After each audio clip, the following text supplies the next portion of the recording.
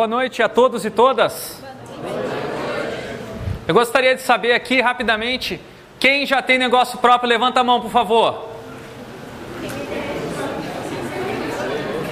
Tem uns pouquinhos gatos pingados aqui. Agora eu gostaria de que levantasse a mão. Quem gostaria de ter um negócio próprio? Levanta a mão aí. Aí, agora eu estou gostando de ver. Agora eu gostaria de saber quem é que gosta de trabalhar como empregado? Levanta a mão. E quem que gosta de trabalhar como patrão? Levanta a mão aí, vai. Aí, isso aí. E se eu disser para vocês que existe uma maneira de você trabalhar como patrão fazendo o que você gosta. Este é o caminho das startups. O que é uma startup? Basicamente é um negócio próprio que você desenvolve, que você abre junto com outras pessoas, obviamente formando um time multidisciplinar para explorar a potencialidade de uma tecnologia emergente de modo a gerar valor para os usuários desta tecnologia. Isto é uma definição de uma startup, ou seja, um empreendimento de base tecnológica que gera valor para os seus usuários. Então hoje eu vou falar como gerar valor para os usuários, que é a minha especialidade. A minha área de atuação na PUC é design de interação, design digital. Eu trabalho no curso de design digital da PUC do Paraná, trabalho também no Apple Developer Academy e trabalho também no projeto da, do Renault Experience, que foi construído junto com a aceleradora Hot Milk, da qual eu também faço parte. Em específico, eu ajudo os participantes do Renault Experience a fazer várias atividades práticas, que eu vou mostrar algumas delas aqui hoje no, na minha apresentação, para você descobrir o que gera valor, para depois você desenvolver o aspecto tecnológico da sua startup. Então vamos lá. Um grande problema que as startups enfrentam é a falta de percepção do que gera valor, de fato. Então, uma pesquisa realizada com várias startups no, Vale do Silício levantou que os principais causas de fechamento, de desistência, de falência das startups são justamente fatores relacionados a design. O primeiro fator é falta de uma necessidade de mercado. O que isso significa? significa que aquele produto ou aquele serviço que a startup está oferecendo simplesmente não atende nenhuma necessidade. Algo muito básico quando você vai falar de design. O design começa a partir da identificação das necessidades de certos usuários para a criação de um produto ou serviço que atende essas necessidades. Ou então que supera as, as expectativas e encanta as pessoas. Outros problemas relacionados a design é um produto fraco, né, um produto mal implementado, né, ou então a falta de um modelo de negócios e desenhar modelo de negócios também pode ser entendido como uma questão de design. E por último, aparece aí também como um fator bastante citado a falta de interação ou a falta de a, escuta ativa às críticas e sugestões dadas pelos clientes dessas startups. Então, esses problemas que estão em laranja no slide são problemas todos que podem ser abordados e superados se houver um investimento em design. Então, eu me parto do princípio nesta palestra de que a maior parte das startups não está investindo hoje em design, mas elas precisam urgentemente investir em design. E quando eu falo em design, eu vou invocar aí o nosso querido Steve Jobs, né, um dos ícones do design, para mostrar para vocês uma quebra de um mito de que design tem a ver com a aparência, com o visual, com a beleza, com a estética das coisas. Isso é design, sim, mas não é tudo sobre design. O principal do design não é como as coisas se parecem, que é o que o Steve Jobs está dizendo nessa frase célebre. Design tem a ver com como as coisas funcionam. E works, aqui em inglês, significa não só funcionar, temos funcionais de engenharia, mas também em termos de se aquilo serve para alguma coisa na minha vida, se aquilo ali é útil. Tá? Então, a visão de design da Apple, embora para muitas pessoas pareça que tem a ver com a forma dos produtos, na verdade é uma visão muito mais ampla que inclui todos os aspectos que envolvem a experiência dos usuários, a experiência dos clientes. E isso estava muito claro na cabeça do Steve Jobs e o resultado financeiro que a Apple obtém, em partes, se dá por esta visão de priorização do design enquanto uma estratégia holística de valorização, de geração de valor para os seus clientes. No, na literatura sobre startups, existe um livro que é bem famoso, é o livro escrito pelo Eric Ries, chamado A Startup Enxuta, mais conhecido no Brasil, inclusive, pelo nome em inglês Lean Startup. É uma metodologia que é descrita nesse livro que ajuda você a transformar a sua ideia num produto que é rapidamente testado e validado com é, consumidores de modo a verificar se vale a pena desenvolver aquele produto ou se deve se abandonar esse produto e desenvolver um outro produto. Eu vou fazer uma crítica a essa abordagem, a startup enxuta, e vou propor uma abordagem alternativa, que é a que a gente tem trabalhado ali na PUC, que é a startup expansiva. Como funciona a startup, é, a startup enxuta? Ela basicamente tem um processo circular que vai é, da geração de uma ideia até a prototipação dessa ideia, você cria um produto que você testa ele é, no mercado e você gera dados com esse produto. Então esse produto ele é utilizado pelas pessoas, você analisa o dado de comportamento das pessoas, se elas vão para cá, se elas vão para lá na página, se elas clicam ou não clicam. Você analisa esses dados e você gera um aprendizado desses dados para você avaliar se vale a pena mudar aquele produto, melhorar ele ou até mesmo cancelar aquele produto e começar um novo. Então, isso é, um, é o ciclo considerado científico de criação de uma startup enxuta.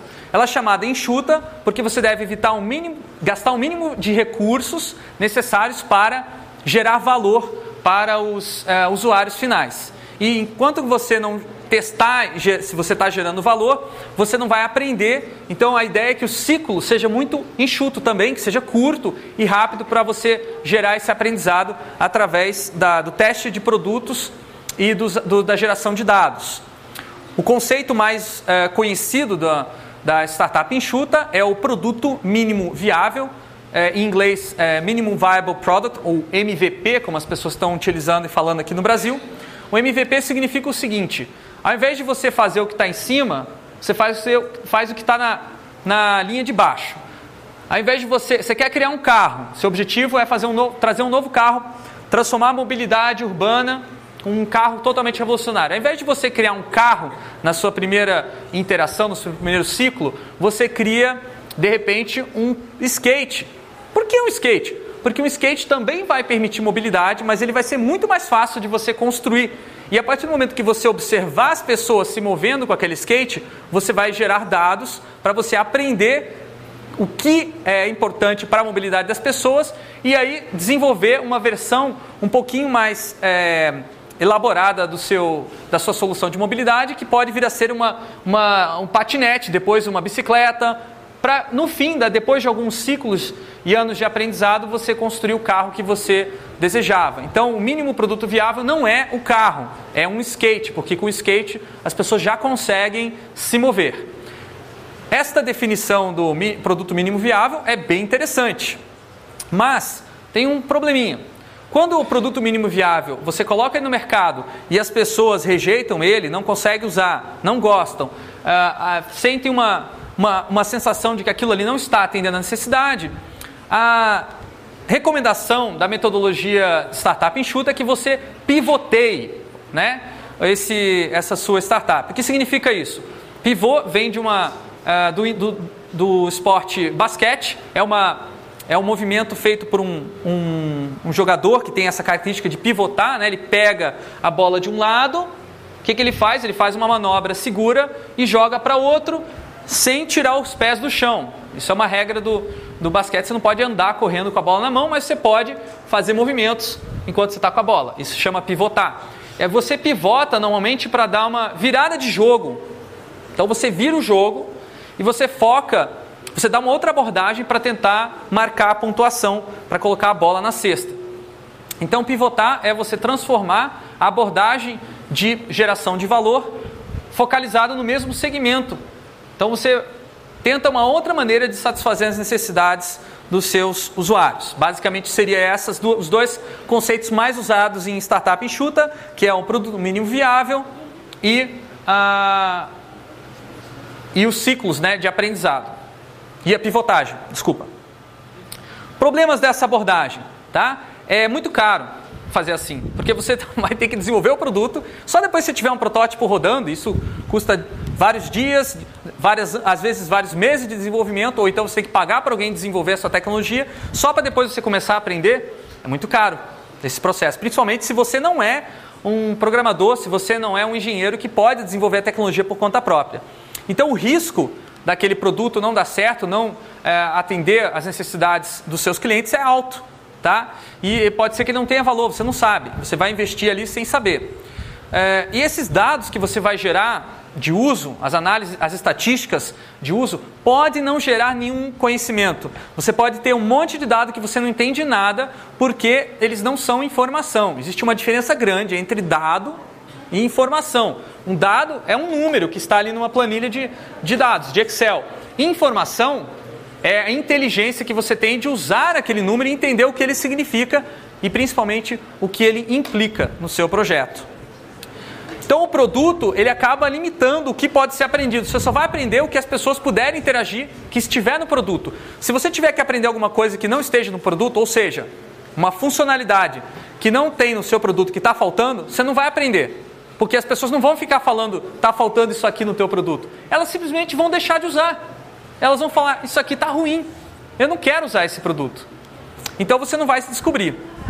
Por fim, o grande problema da startup enxuta, eu acho o principal problema, é que induz aos empreendedores, os startupeiros, a ter uma postura bastante teimosa em relação ao conceito do seu produto ou serviço. E eles insistem, insistem, insistem na mesma ideia, quando na verdade aquela ideia muitas vezes não acrescenta valor, não gera valor para o usuário final e demora muito tempo, às vezes, para o startupeiro, para o empreendedor, aprender isso através do método da startup é, enxuta.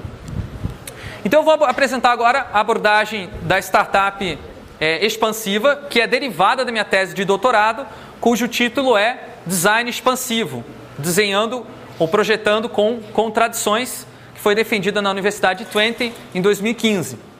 Então, baseado nessa tese, eu desenvolvi uma visão de processo de design que ela tem dois, duas abordagens, a abordagem é, ideal e a abordagem realista.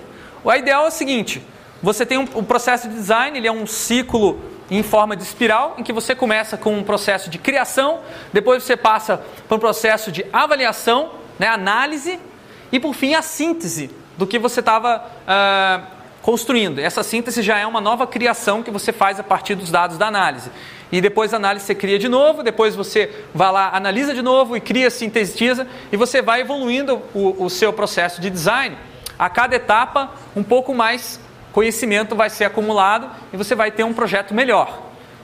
Essa abordagem parece linda, né? Nossa, em vários projetos, em vários livros de design, inclusive aquele modelo lá da, do ciclo lá de aprendizado do, da startup enxuta é muito parecido. São modelos perfeitos, ideais que funcionam na teoria, parece que funcionam na teoria, mas na prática não é bem assim.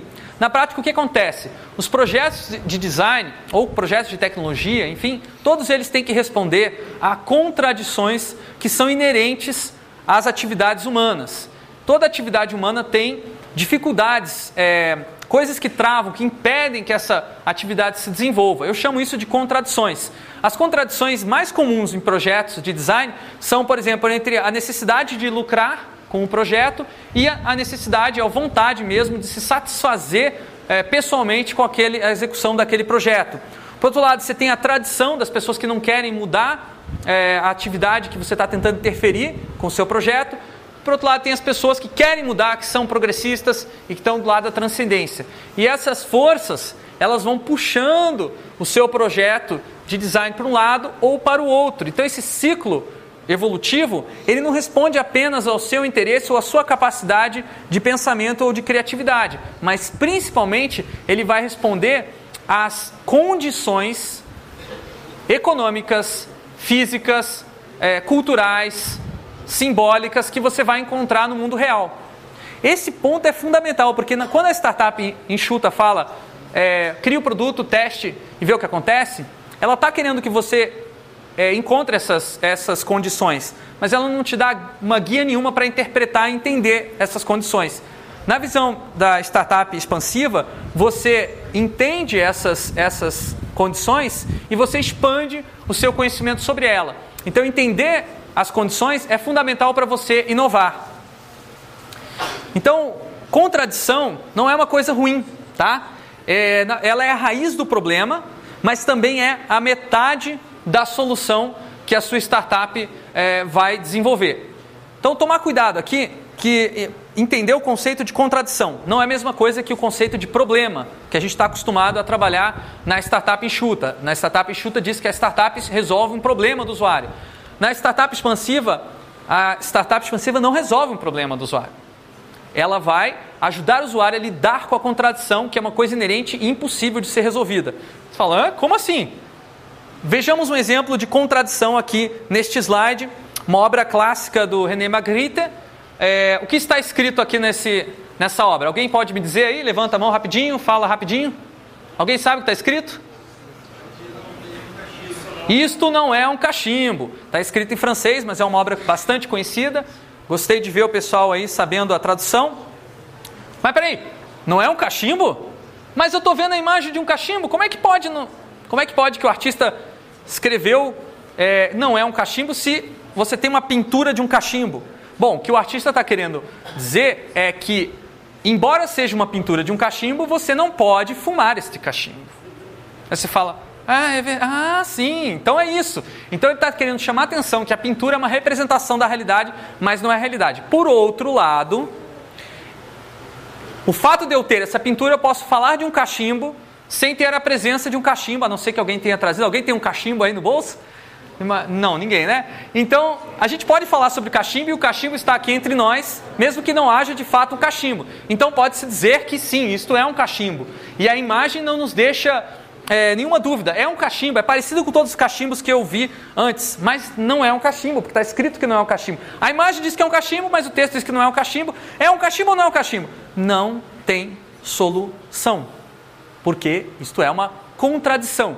O título dessa obra é A Traição das Imagens. Toda imagem vai trair você. Nenhuma imagem é realista como é a realidade. Toda imagem é uma representação da realidade. Tá? Então você sempre vai ter que conviver com isso. Se você quiser uma imagem, usar uma imagem para é, interagir com a realidade, você vai poder, mas você vai ter que estar consciente de que aquilo ali não é toda a realidade.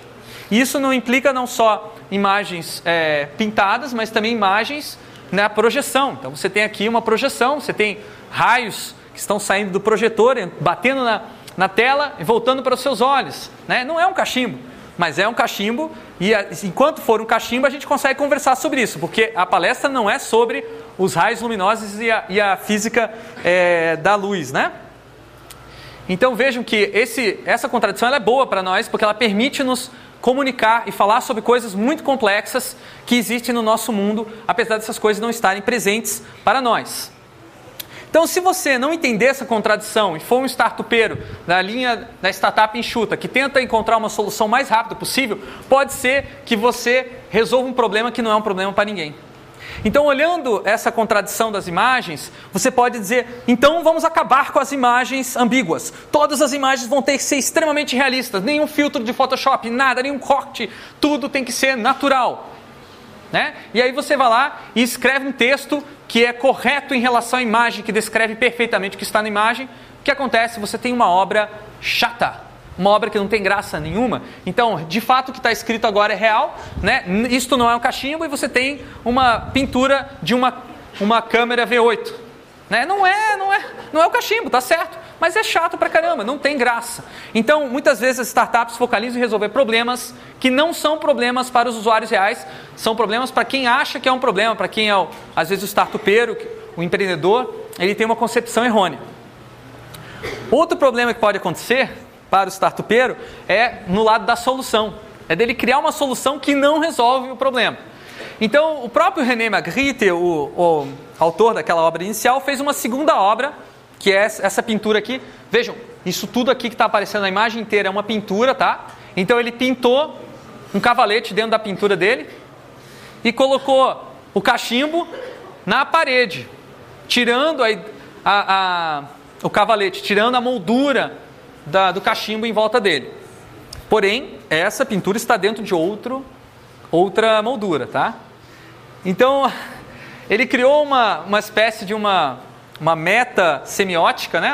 Um processo de significação que se refere novamente ao processo de significação. Ele está dizendo: será que se eu tirar a moldura de arte, isso aqui vira um cachimbo de verdade? Então, essa solução eu não acho que resolveu, porque continua sendo ambíguo, continua sendo contraditório. Então, o próprio Magritte está tentando brincar com a ideia de que não é possível resolver o enigma das imagens. E mesmo que você é, tente fazer as imagens serem a realidade, como nesse caso, né? então não existe mais realidade, só existem as imagens, que é o que ele está querendo dizer aqui. Né? A imagem é mais real do que o real. E quando você olha uma foto de você mesmo, você está vendo você muito mais real do que você se acha no espelho. Ou quando você grava a sua voz, você ouve sua voz da play, aquela voz é muito mais real do que a sua voz que você ouve dentro do seu próprio ouvido, né? Então ele está querendo dizer isso. É, essa solução também não resolve, porque continua a contradição e a relação que existe entre a nossa vida de representação e a nossa vida física tangível concreta que a gente experiencia no dia a dia. Então essa solução da, da startup não é uma solução para a contradição. Melhor do que tentar resolver problemas ou criar soluções é fazer como Jackson Pollock que é outro artista que sucedeu o, René Magritte e que transformou completamente a arte, mostrando a importância do processo criativo. Ele conseguiu criar obras de arte cujo processo criativo está explícito na cara. Então, muita gente olha para essa obra e fala: Ah, meu filho conseguiria fazer melhor do que o Pollock. Mas se você prestar atenção, todos esses respingos de tinta colorida que ele está fazendo são muito bem pensados, eles têm, eles têm uma métrica, eles têm uma, uma coerência e uma consistência em todas as obras. Você olha para o respingo de tinta do Pollock e você identifica em qualquer obra dele que é uma característica específica. O gotejamento, a técnica que ele utilizava era extremamente rápida. Então ele não podia demorar muito, porque senão a, as gotas elas acabavam é, é, borrando a, a, a moldura inteira. Então ele fazia rapidamente movimentos que eram muito bem pensados para chamar atenção para a tinta da pintura e mostrar que a tinta em si, só a tinta, pode ser uma experiência estética agradável. Então isso transformou completamente, ele inverteu a contradição. Ao invés da, da obra de arte representar o real, ele fala o seguinte: vamos fazer a obra de arte ser o real. E vamos apreciar a obra de arte enquanto uma coisa real. Preste atenção nessas gotas de tinta que foram é, colocadas aqui no momento esfuziante da minha vida de inspiração. Então é isso que é, impacta, digamos assim, ó, a, o mundo da arte e que cria toda uma geração de artistas é, abstra abstratos e expressionistas é, no final aí do, na segunda metade do século XX. Então, lembrando, a contradição ela não é um, um, uma coisa ruim, ela é a raiz do problema e também a metade da solução. E ao invés de tentar solucionar uma contradição, deve-se tentar ajudar as pessoas a lidar com essa contradição. Então, os princípios básicos da startup expansiva são: vai a fundo no problema e chega na contradição que está por trás desse problema, que é a raiz. E aí você cria, a partir dessa compreensão, um serviço e não um produto. Um serviço por quê? Porque a cada vez que a pessoa for lidar com essa contradição vai ter que ser diferente. O serviço é muito mais adaptável. Então o serviço ele não resolve o problema, ele dá ferramentas e maneiras para que a pessoa improvise e se adapte em cada situação que ela vai enfrentar essa contradição. Ela começa de um nicho específico e vai expandindo para outros nichos conforme esse serviço vai sendo necessário e as contradições vão sendo parecidas. Então o objeto da startup é tornar possível o impossível, apesar de existirem contradições. Então não é depois que solucionar o problema que a startup vai fazer sucesso. A existência do problema é a condição de sucesso da startup. Essa é uma maneira muito diferente de pensar. Eu tenho trabalhado isso de uma maneira teórica, eu já vou mostrar como se dá na prática, mas o cerne da minha teoria é que existe um espaço de possibilidades conhecidas. As pessoas acham que algumas coisas são possíveis e outras são impossíveis. Quando você cria uma startup expansiva, você explora o que é possível e você vai rodopiando, e vai rodopiando, e vai explorando diferentes partes do que é possível, vai tentando, e vai expandindo. De repente, vai chegar uma hora que você vai pensar fora da caixa. Quando você pensa fora da caixa, o que acontece? Você expande a caixa, porque você mostra que é possível fazer o impossível. E esse processo de expansão da caixa né, é o objetivo de uma startup expansiva. Por isso que a minha noção de startup expansiva ela tem muito mais a ver com conhecimento que não é de, de poder apenas da startup, mas também um conhecimento geral da sociedade. Então, startup expansiva visa que as pessoas tenham mais conhecimento sobre as dificuldades, as contradições que elas têm na vida delas e possam lidar com isso de maneira mais racional e efetiva. Vamos ver alguns projetos práticos de startups expansivas que foram criadas nos programas de startups da Pontifícia Universidade Católica do Paraná.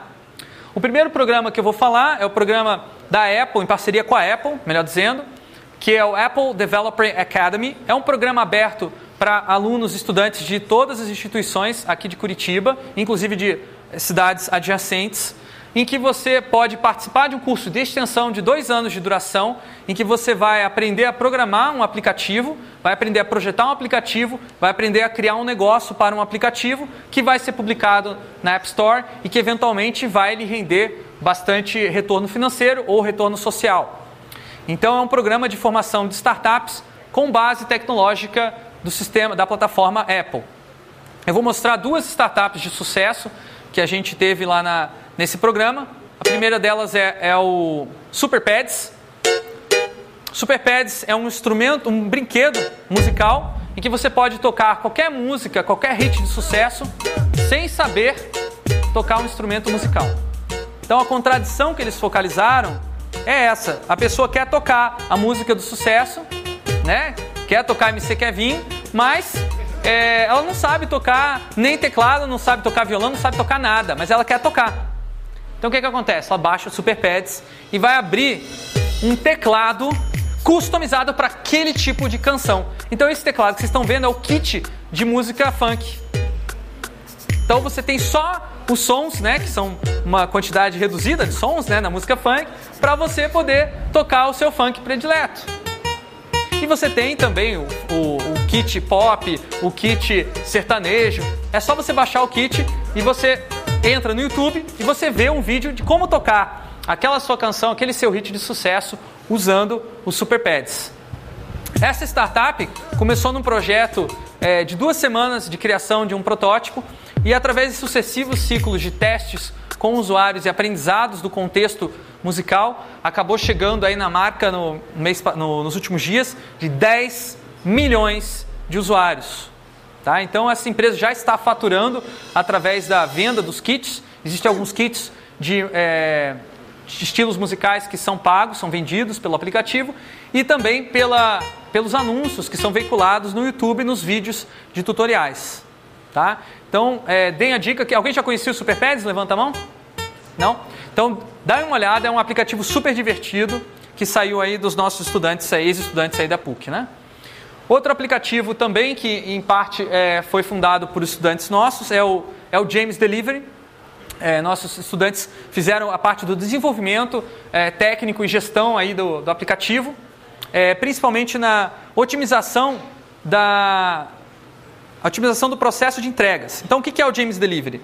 Você tem é, o interesse de receber a entrega de um restaurante que você gosta muito, que tem uma comida fantástica, mas aquele restaurante não tem um serviço de entregas delivery. O que, que você faz? Você pede para o James Delivery fazer, buscar o que você quer lá e, e o pessoal vai mandar, eles vão mandar alguém lá no, no restaurante para fazer a coleta do que você está pedindo e te entrega na sua casa. Ou seja, um serviço de delivery sob demanda, que começa a partir da necessidade do usuário, do consumidor, ao invés de começar a partir da potencialidade ou capacidade do fornecedor de atender a demanda.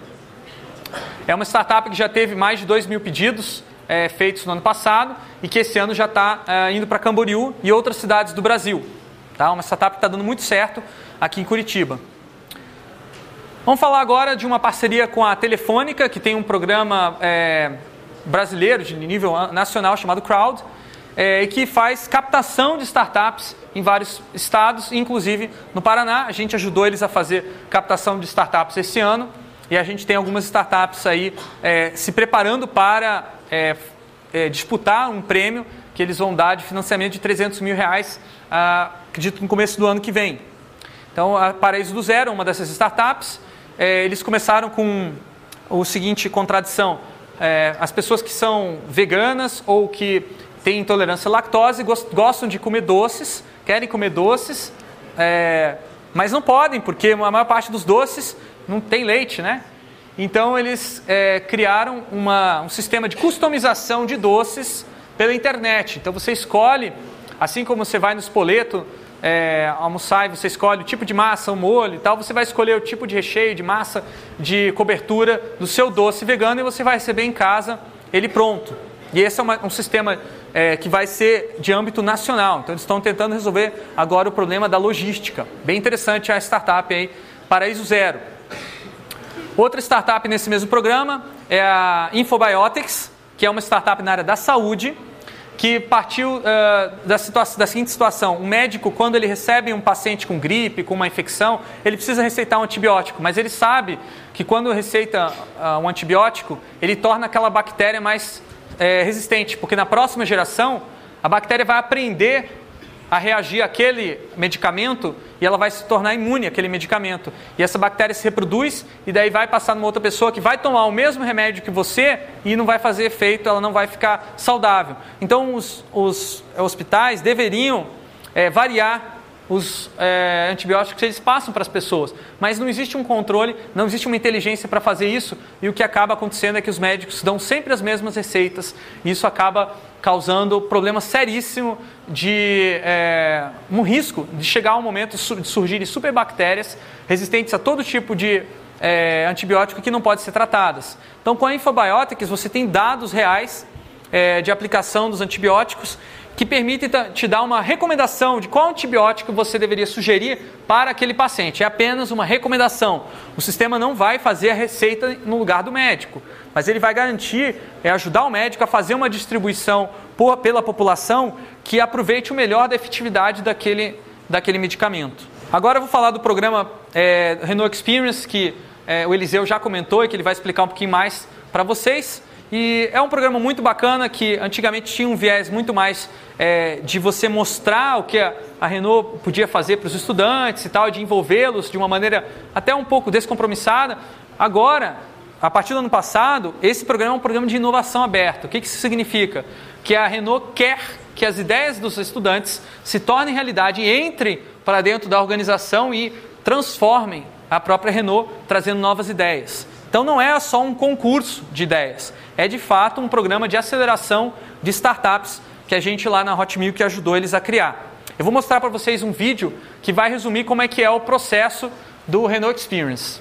Fiquem atentos. O Renault Experience é um programa que incentiva os universitários a inovar e empreender. O programa é dividido em três fases: Ideaton, Business Lab e Aceleradora Renault. A primeira fase é a Ideaton, que é totalmente digital e funciona através de uma plataforma online.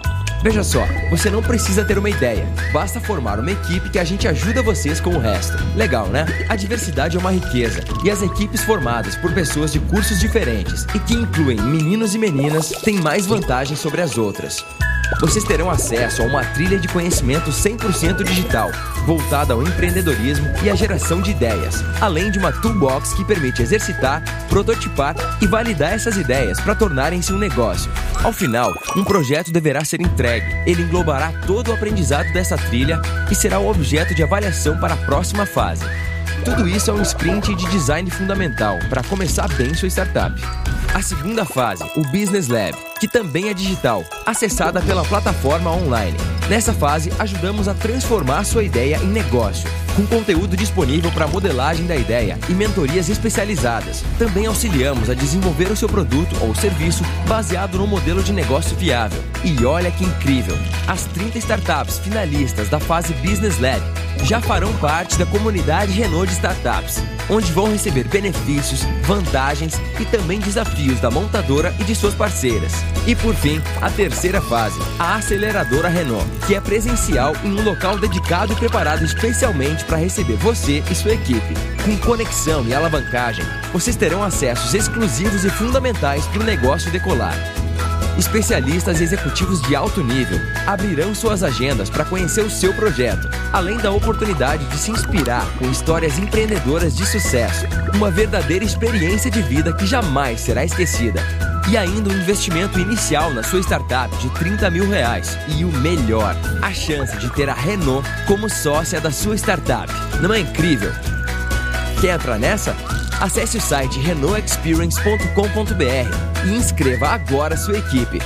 Confira como foi a última edição do programa.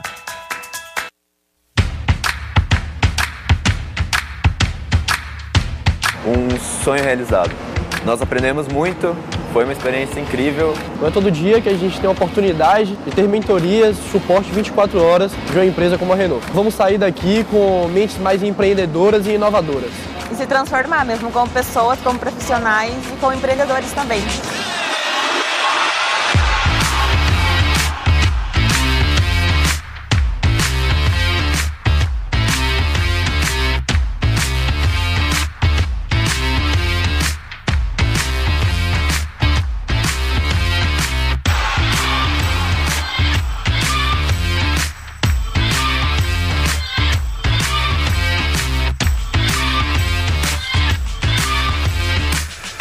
Procura por uma mudança de mindset, desenvolver um perfil empreendedor, participe do programa Renault Experience.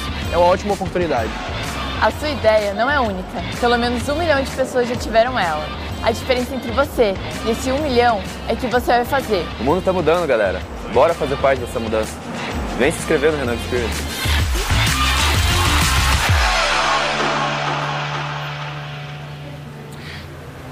Então aí está um resumo do que espera vocês, o Renault Experience. A minha participação principalmente é na fase é, do Design Sprint, a primeira fase em que você descobre uma oportunidade, você cria uma proposta de valor. Tá? Na primeira fase, vocês vão ver, quem participar vai assistir vários vídeos em que eu vou passar ferramentas para vocês é, executarem é, algumas atividades que vão é, ajudar vocês a gerar uma ideia criativa, inovadora, que depois vai ser transformada no negócio na fase de Business Lab, caso ela seja aceita. Tá? Vamos ver uh, a startup, uma das três startups vencedoras que recebeu o aporte de 30 mil reais, é a Smart Security. São quatro sócios, eles apareceram aqui no vídeo, que vieram lá da Bahia. É, eles receberam aí um, um, um apoio muito bacana da Renault, depois eu vou falar mais o que aconteceu depois disso.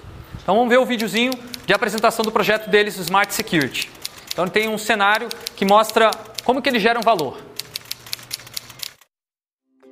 Hoje é aniversário da namorada do Léo e ele decidiu ir com seu cachorro Nino à padaria comprar uma cesta de café da manhã.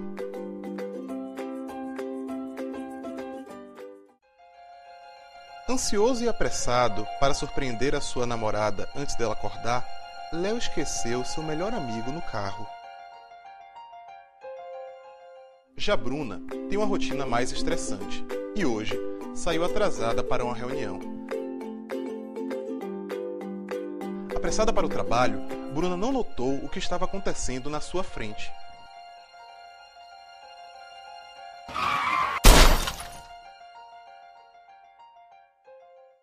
Fernando tirou o dia de folga e decidiu ir nadar no clube.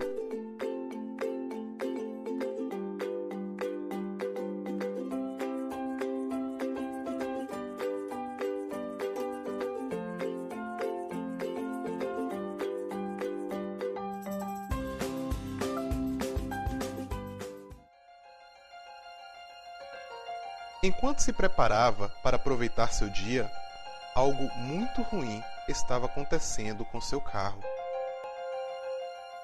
Felizmente, essas três pessoas são usuárias do Smart Security e logo conseguiram a solução eficiente para os seus problemas. Léo recebeu uma notificação e buscou seu melhor amigo. Felizmente, o sistema Smart Security acionou os órgãos de emergência e notificou os números cadastrados por Bruna. Fernando recebeu um alerta com a localização do seu veículo e acionou a polícia. Todas essas situações mostram como o Smart Security é importante na vida das pessoas. Veja como é fácil entrar nessa comunidade. Este é o módulo Conectividade do Smart Security. Nele podem ser conectados os diversos sensores para identificar movimento no interior do veículo, arrombamentos, batidas. E além disso, esse módulo também permite o rastreamento do veículo e todas as informações são enviadas via redes móveis para o seu aplicativo. No caso de batidas graves, ou seja, quando ocorre a abertura do airbag, órgãos de emergências e números cadastrados são notificados imediatamente, enviando a localização do acidente. Com Smart Security você está sempre conectado. Viu como é fácil? Acesse nossa página e adquira o produto. Então, o Smart Security é uma startup que focaliza em várias contradições, mas uma delas estou ressaltando aqui é que você está com pressa, está querendo fazer um monte de coisa na sua vida e de repente você acaba esquecendo as pessoas que realmente você ama, né? Seu, ou, ou talvez os animais que você ama muito, né? Dentro do carro, né? No caso aqui poderia ser um bebê também, né? Eles não mostraram no vídeo, mas poderia. Já teve casos de bebês sufocados dentro de carro por esquecimento. Então a, a ideia desse sensor é evitar esse tipo de problema de acontecer, né?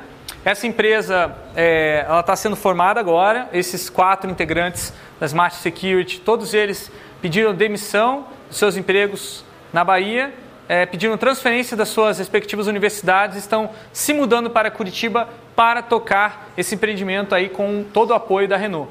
Então é um, é um é, o Renault Experience ele não é só um exercício, um concurso de ideias como muitos outros que existem aí no mercado. Ele realmente é um projeto de inovação aberta. Inovação aberto, o aberto significa que é aberto para a comunidade externa, para outras universidades, e por isso eu estou aqui hoje convidado aqui na, na Uninter, né, para conversar com vocês. Não é um, um concurso onde a PUC do Paraná vai ter algum tipo de preferência. Claro que não, a gente fez a abertura lá na UTFPR, hoje estamos aqui na Uninter e a gente teve no ano passado a participação de mais de 80 instituições de ensino. Então a chance é de vocês, tá? esse pessoal do Smart Security também não é de nenhuma dessas universidades, vieram da Bahia. Enfim, aproveitem, porque vocês podem receber aí é, um. Não só. Não pense tanto nos 30 mil, que eu acho que os 30 mil é o de menos. Porque todo o conhecimento que vocês vão ter, o aprendizado, as dicas das pessoas que trabalham dentro da Renault, com certeza vale muito mais do que esse valor. Então, para finalizar, eu vou passar 10 passos bem práticos para criar uma startup expansiva. Seguindo esses passos, eu garanto que vocês vão conseguir lidar com uma contradição e gerar uma inovação. O primeiro passo é monte uma equipe multidisciplinar, uma equipe diversa, que tenha pessoas com diferentes é, cor de pele, com diferentes orientações sexuais, com diferentes interesses, com diferentes gostos. Porque quando as pessoas são diferentes é mais fácil que você lide com contradições do que quando elas são todas iguais. Quando as pessoas são iguais e parecidas, a tendência é que elas eliminem as contradições e tentem resolver problemas que para elas são problemas, mas que para outras pessoas não são.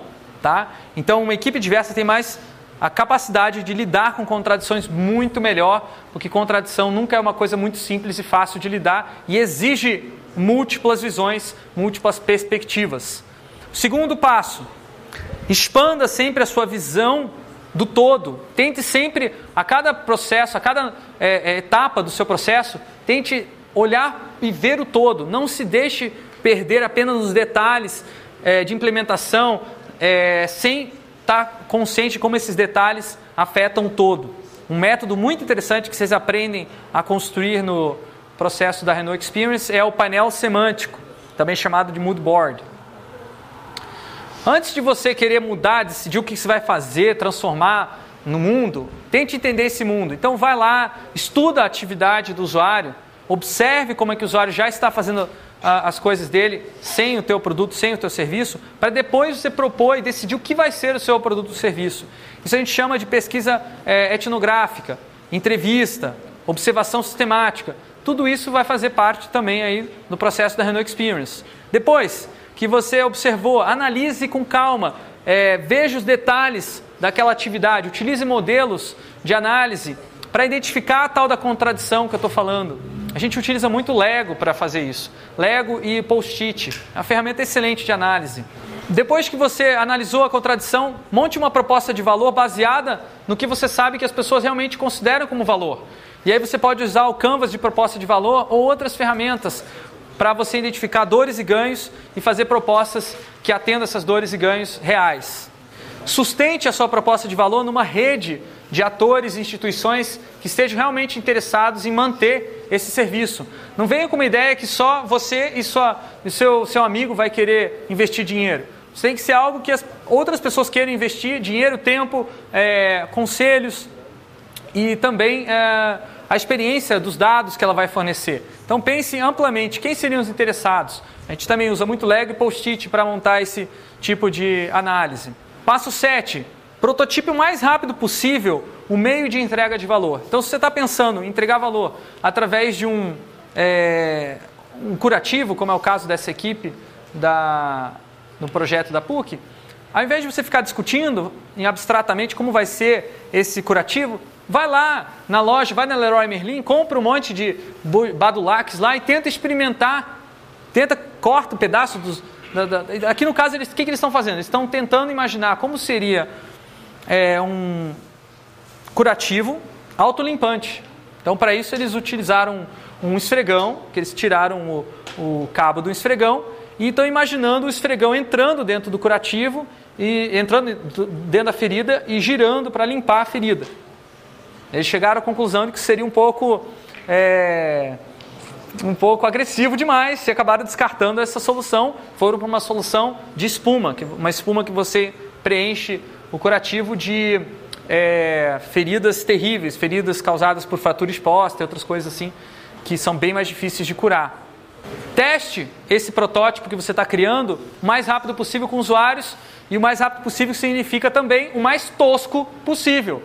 O tosco é uma palavra que a gente usa muito aqui em Curitiba, né? Significa que ele é simples, rudimentar de propósito. É autêntico. O tosco é autêntico.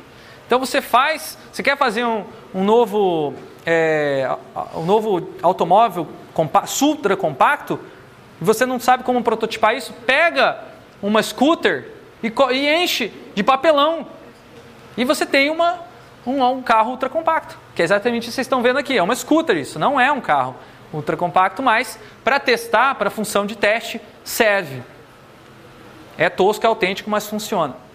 E se você quiser ser realmente radical e você tiver um serviço que possa ser entregue pela mídia digital, o WhatsApp é a sua melhor ferramenta de prototipação.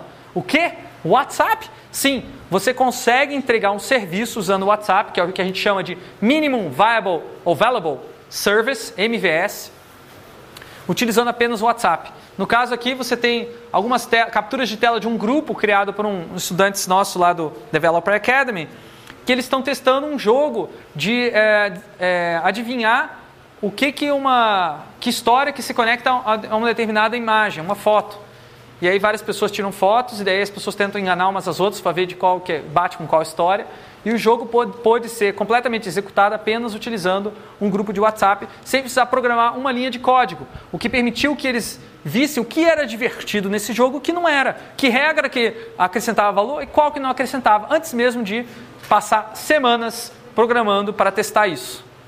Por fim, utilize frameworks, plataformas tecnológicas existentes que permitam que você rapidamente é, gere valor para as pessoas e você aprenda com essa geração de valor e vá expandindo aos poucos o seu escopo. Então comece pequeno, com o escopo reduzido e vai expandindo o seu escopo, mesmo que nessa expansão você também signifique que você tenha que refazer totalmente a sua plataforma tecnológica por conta é, de, uma, de uma inadequação. Às vezes no escopo reduzido, você consegue implementar com uma tecnologia muito rápida, mas essa tecnologia é só um meio, ela não vai ser usada para sempre, ela só vai ser usada para você rapidamente testar, depois você vai fazer mais bem feito com outra tecnologia mais para frente. Enfim, se vocês tiverem alguma proposta, alguma ideia de startup, como eu disse, a Hot Milk, que é a aceleradora de startups da PUC, ela é aberta para startups de outras instituições, startups independentes que não têm vínculo nenhuma com instituições. E a gente tem vários programas como Telefônica, como Apple Developer Academy, como Renault Experience, que estão aí abertos e que vocês podem vir a participar. Então me procurem, tá? O meu contato é no site usabilidoido.com.br. Eu tenho também uma conta no Twitter, Usabilidoido. Vocês podem encontrar o Usabilidoido também no Facebook, tem uma página para seguir, receber atualizações a respeito de design, inovação e o mundo das startups. Muito obrigado.